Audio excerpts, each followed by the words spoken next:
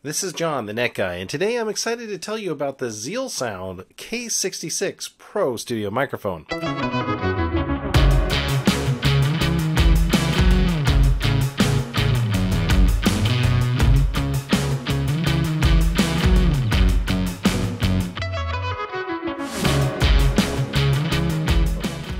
Podcaster, game streamer, and YouTube product reviewer for several years now. In all of this time, the number one recommendation I keep getting is that while people will put up with okay quality video and mediocre gameplay, the number one important thing is how you sound. So, how does this sound? Well, this review is being recorded entirely on the ZealSound Pro studio microphone. Let's get a few important things out of the way. First, it's a USB interface microphone and a condenser style with the cardioid polar pickup pattern, meaning it's very sensitive to sound on the front of it and will reduce sounds that are coming from the sides or behind it. It features two things I really like a zero latency monitoring headphone jack, which can act like a second audio system output, and it gives you instant feedback on how you sound. This can be very helpful to pipe in game chat just into your headphones or to let you know when your mute is working. And that's the second feature, a physical mute button along with a clear red muted indicator. This microphone doesn't have any RGB or a traditional 5 8 mounting capability, which means you can't easily use it with microphone boom arms, unfortunately. In my case, I put it on top of this box here to get it closer to my mouth and give it a rich, fuller sound. Unboxing the microphone reveals it's got plenty to offer. A generous 6 foot cord is included with USB adapters for every type of current generation PC, Mac, or smartphone you might need.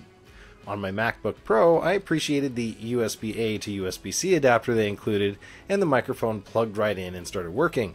The USB A to Lightning connector means you can use this microphone for clean audio on your iPhone or iPad meetings, FaceTime calls, or other applications. The microphone comes packaged safely within a foam cover which you can remove. Don't miss the microphone foam cover which is hiding in the back in the packaging. The microphone flips over 360 degrees and you can easily access the four top mounted controls. The first control on top is the mute switch, which is wonderful to see and it's shaped differently than the rest, but it has one flaw.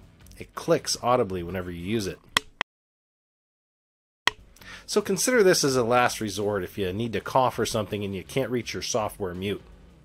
The next is the gain control. The microphone's 16mm condenser style diaphragm is very sensitive and about 70% gain worked well for my needs. The microphone didn't peak at all even at full gain, telling me that they have some audio processing going on. It sounds very much and acts like a dynamic microphone if you're familiar with those, but it has the wide sensitivity of a condenser microphone. It picks up sound between 80 Hz and 20 kHz with a sampling rate of 48 kHz and a sensitivity of 45 dB plus or minus 3.